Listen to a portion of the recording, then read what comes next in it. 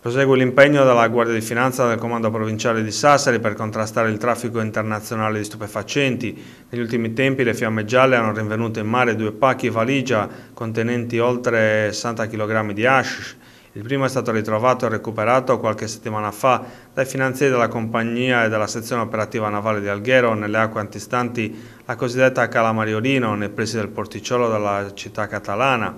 pesante involucro era costituito da più strati di nylon che racchiudevano un sacco di juta che era stato adeguatamente impermeabilizzato e con all'interno 300 pannetti di hashish per un peso complessivo di oltre 31 kg.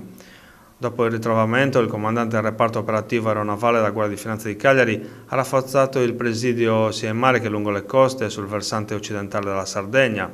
una misura che ha dato i frutti sperati grazie alla professionalità dei finanzieri del comparto aeronavale e all'alta tecnologia delle strumentazioni dei mezzi utilizzati. L'equipaggio del guardacoste G116 Laganà ha intercettato e recuperato a poco più di 10 miglia a largo di Santa Caterina di Pittinuri, nel comune di Cuglieri, un altro involucro del tipo di quelli utilizzati per i traffici internazionali stupefacenti via mare.